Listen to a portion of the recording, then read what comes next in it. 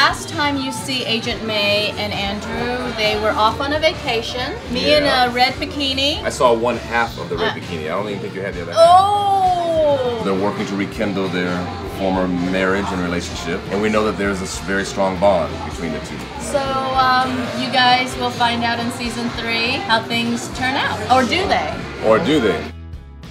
You know, we actually went to college together. Ming is one of my longest standing friends in, That's right, in this yes, town. The yes. very first scene was on a college campus where my character is supposed to be a psychologist, which is very Oh ironic. my goodness, Remember that? that's right. I love the fact that Andrew and May has such a history, and it was so easy for us to play people with history Yeah. because we had it. That's where you see the chemistry. Because it's all It's, up in there. it's real.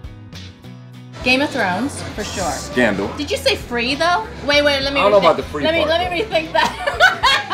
Me We- you know, we got free. family. Kids like to eat. Yeah.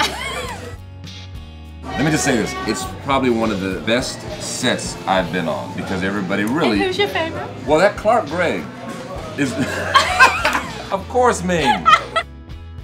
Oh, well, Cicely Tyson. Oh. What do you think about And Vanessa Williams.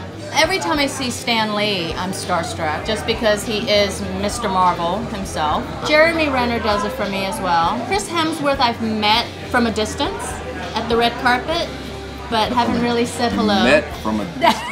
How does that work? no, I That's stalked called him. stalking, Yeah. right? Met from a distance. I'm Blair Underwood, And I'm Ming Na Wen, and we're from Marvels, Agents of S.H.I.E.L.D. and you're watching TV Insider. dot com.